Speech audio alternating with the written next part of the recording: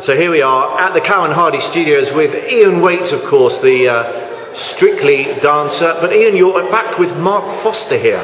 What on earth has made you do that? I am. It's a strange combination, I will, say. But um, Mark danced on the um, Strictly Come Dancing in 2008, and he caught the bug, the ballroom dancing bug, um, and he saw what the benefits were ballroom dancing, and we've combined myself, Mark, and Natalie Lowe to create Fitsteps, which is a new um, dance fitness program.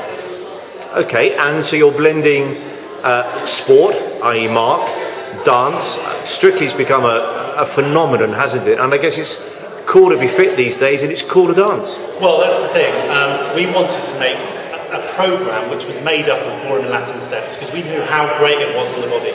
Um, so myself and Natalie went to work with making this program, uh, which is now Fitsteps, and it's just sweeping the nation at the moment. We have um, more than 1,500 instructors, and, um, and Mark's input is, is invaluable because he gives us the nutritional and health guidance that we need throughout the program. And um, yeah, it's been a great success. So the end goal, if you like, uh, the, the, the objective ultimately is a fitter nation, but a nation dancing as well. Because let's be honest, certainly before Strictly, people either didn't want to dance or couldn't dance. Mm. Well, I think a lot of lot of it was people would wanted to dance, but never had the availability. With Fitsteps, you can go into any class. You don't have to have a partner, which is what you normally do.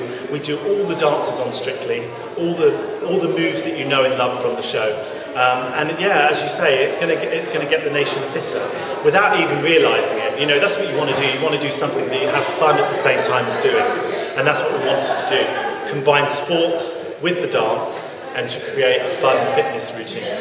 Now, not every sports star wins Strictly, uh, although we've just had uh, Abbey Clancy, who's married to a sports star, winning Strictly. But uh, in general, they do tend to do very well over the years. Darren Gough, Mark Ramprakash, Matt Dawson, the, the list is endless. Why is that? Well, I think the um, athletes and sports people have a very different mentality.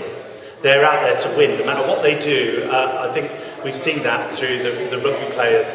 They're, they're not the most natural of dancers, but they do have the will to win. And if you have that, and you have the, um, you know, you have the stamina to get through the whole competition, because it is very grueling. The show, it's three or four months of non-stop training.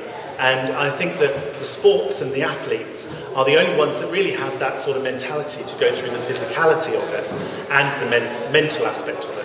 And the one thing that, that I've discovered speaking to a lot of the sports stars who have appeared on Strictly is that they all came into Strictly not really understanding how hard it would be and they all left with a newfound respect for the likes of yourself. Well, I think also Mark, um, Mark realised the fitness benefits. He, he lost weight, he toned up, um, all from doing a, a, dance program.